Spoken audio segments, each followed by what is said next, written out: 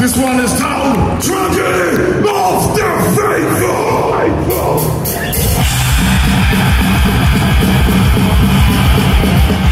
Thank